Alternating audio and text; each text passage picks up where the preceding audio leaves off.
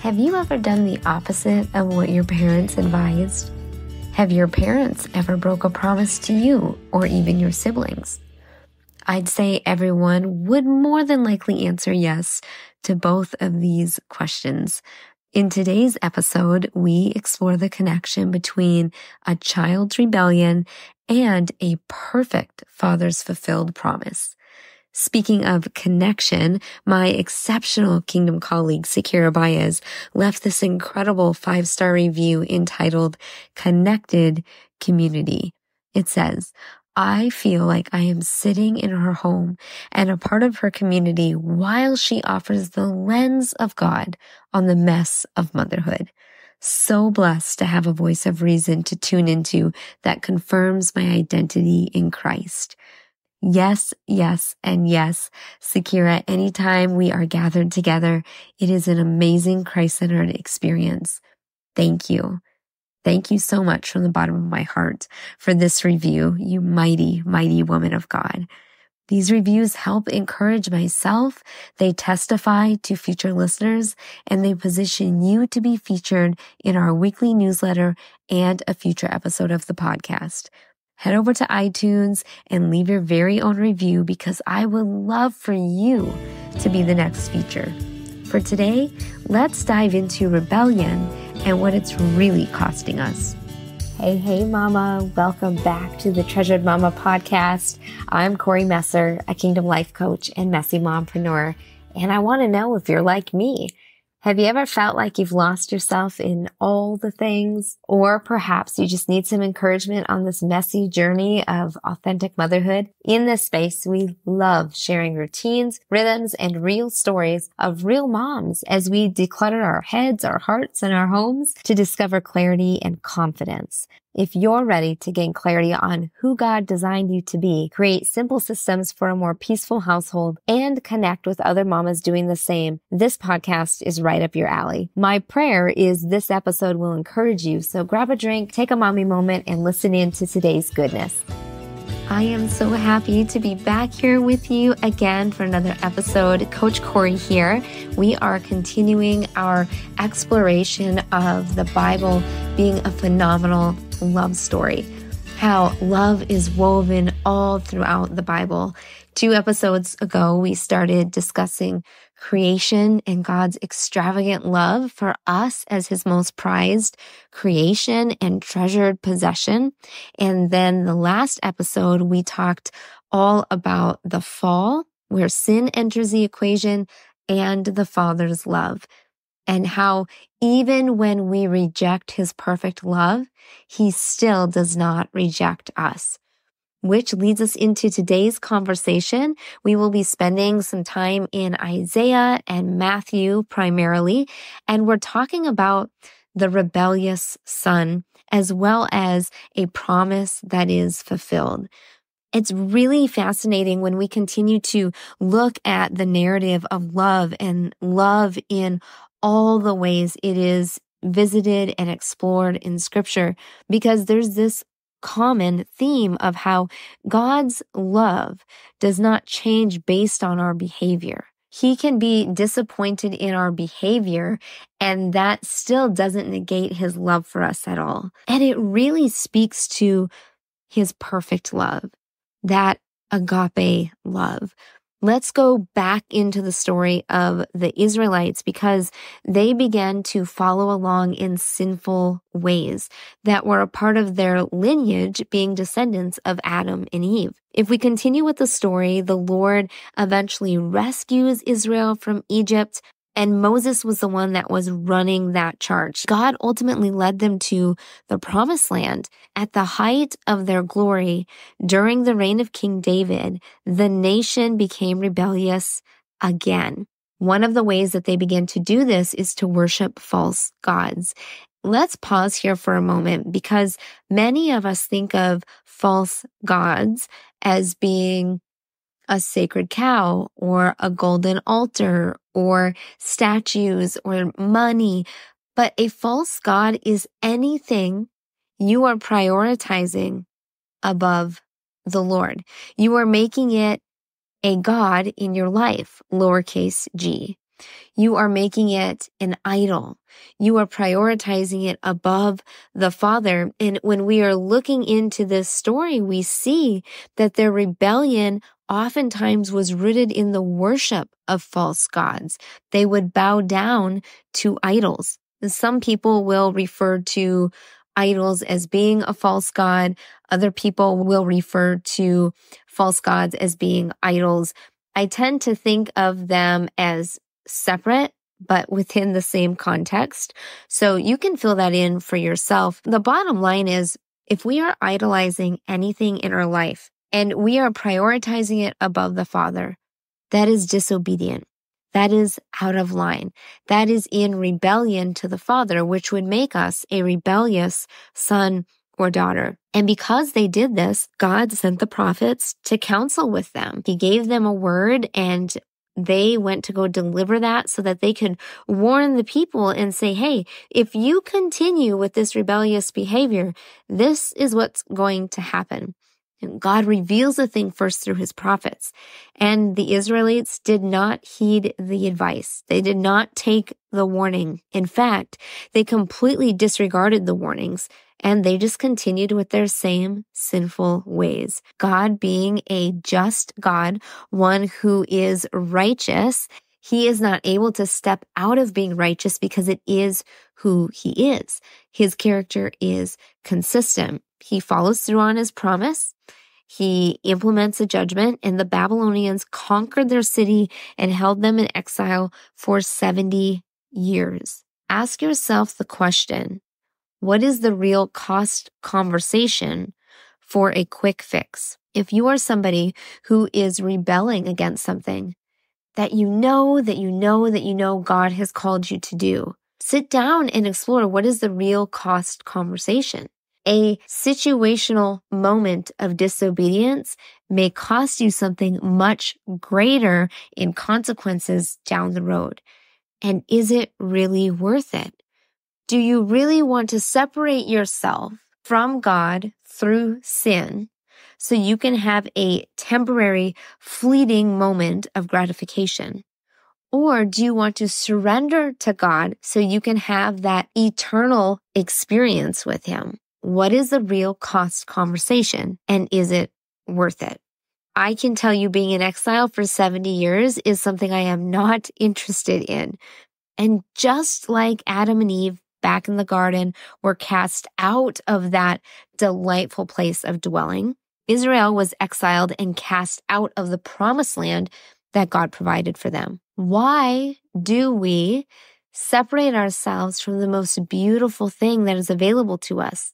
And for so many of us, that beautiful thing is somehow attached to relationship with the Lord. And it's because we give into the lies of the enemy. It comes down to an identity conversation. As a son and daughter of the one true king, the enemy does not want you to live in that identity. So be aware of that. Be cognizant of that and know that when God gives you a good and beautiful gift, he gives it to you.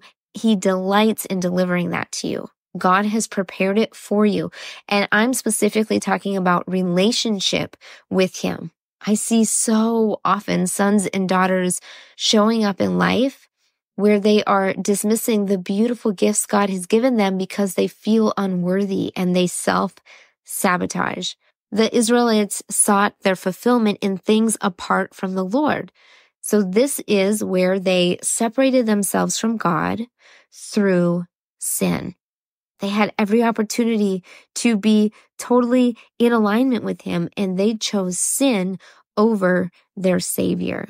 When they chose these things that were out of alignment with the Father, it led them to turning away from God. And He loved them so deeply. And they decided to not just separate themselves from their Savior, but they became enslaved to sin as a result. And that is the consequence I mentioned earlier when you ask yourself, what is the real cost conversation? Because consequences lead us in our own form of spiritual exile. Again, we get to remember that sin separates us from God. And when we indulge in sin, we release or forfeit, we give up our relationship with Him. Beloved, it is time that we start taking responsibility for these choices we are making instead of blaming them on the enemy. He doesn't have access to us unless we give it to him by partnering with sin. Sin separates us from God. And when we indulge in sin, we forfeit our relationship with God. In the comfort and security of God's love, that is where all meaning and purpose for life is found. He knows the depths of our hearts and God fulfills our every single need. So the question becomes then, why do we ever separate ourselves from him? Specific to Israel, when they rejected God's love, it eventually brought them to their own punishment. God never forgot them, even when they were disobedient. God delivered his people from Egypt, and he promised to bring full deliverance through his son, Jesus Christ. And this brings us to the fulfilled promise, the promise that was fulfilled. This is where we dive into Matthew chapter 2. When the time came for the promised Messiah, who was Jesus Christ, to be born hundreds of years later, the news reached the current king, King Herod. King Herod was an interesting man to say the least, and he did not want anyone claiming to be king. He didn't want anyone contending for his position in the throne. He set out to find this quote, proclaimed Messiah, end quote, for himself because he was so threatened by anyone potentially taking his spot. He had the audacity to order every male child under the age of two in Bethlehem be killed. With the newborn son of God as King Herod's target, God had other plans, and God even appeared to Joseph in a dream. I find that so beautiful. God will speak to us in the way that we are prepared to receive from him. This is why some people get visions. Some people really dive into the physical word and they get great depth by doing word studies. Some people see visuals in the natural world. Some people hear songs. God will speak to you through any modality that you are prepared to hear him. When he appeared to Joseph in this dream, he told him, Get up, take the child and his mother to Egypt until it is safe to leave, and I will tell you when it is safe. So that's what Mary and Joseph did. They went to Egypt. And it seems that history is repeating itself, doesn't it? As the family is headed towards Egypt for refuge. In the Gospel of Matthew, Matthew draws our attention to how significant this journey is. And he does this by referencing the Old Testament passage in Hosea, which says, So he got up took the child and his mother during the night, and escaped to Egypt. He stayed there until Herod's death, so that what was spoken by the Lord through the prophet might be fulfilled. Out of Egypt I called my son. And that is in Matthew chapter 2, verses 14 and 15. We see that Matthew uses this reference to identify Jesus as the fulfillment of bringing God's people out of Egypt, his loving plan of redemption for them. I find it incredible how God's love is so deep and so wide simultaneously. Jesus traveled to and from Egypt. He passed through the waters to be affirmed as God's beloved son. He even went into the wilderness where he was tempted by Satan, and yet he did not sin because he is perfect. Jesus followed the same path as Israel, but he remained righteous and faithful in every single way that Israel failed. Just because something has always been a certain way doesn't mean it always has to be that way. Just because you've only ever seen parents be modeled in a certain kind of way doesn't mean that is how our good, good father is. His love is agape love. His love is deep. It is wide. It is pure. It is perfect and his character is consistent. This is why we see the Old Testament speaking towards things that will be fulfilled in the New Testament because God honors his promises. Nothing is going to stop the fulfillment of his promise.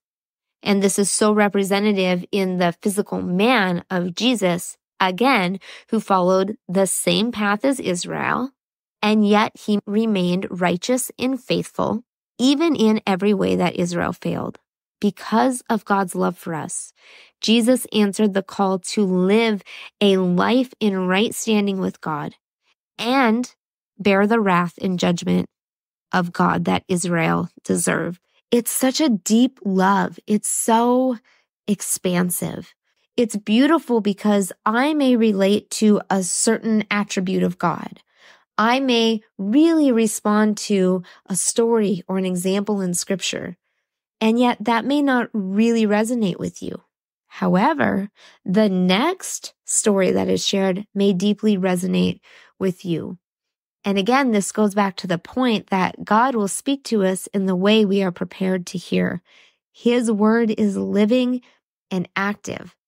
So just because you haven't had a deep, intimate connection with the word of God before, I want to encourage you now that you know that you can look at the Bible through the lens of learning more about who Jesus is. I encourage you to re-explore certain areas of the Bible that you haven't before and seek out opportunities to find how love is demonstrated, to learn about the character of God, to see where God has fulfilled his promises, even when his children have been disobedient and even rejected his perfect love. Heavenly Father, I thank you so much for your pure, potent love. God, we thank you so much for seeing us as who you designed us to be versus how we may have been showing up. Heavenly Father, I thank you for giving us this incredible book, this incredible word that is inerrant. It is perfect, God, for you to show us everything that you need us to know. And God, I pray that whoever is listening to this podcast, God, that it would just speak to their heart in precisely the way that they are prepared to listen so that they get to know you, God. And it stirs up some curiosity for them to go grab a Bible, to go look online and uncover, discover, and possibly rediscover who you are, the love you have to offer, and even be brave enough to uncover the treasure that you have placed within him or her. Mostly, we thank you for your presence, God. In your mighty name, Jesus, we pray. Amen. Hey, Mama, one quick thing before you go. If this podcast blessed you in some way, the number one way you can pay it forward is to head over to iTunes, Treasured Momma Podcast, and leave a review and subscribe to the channel.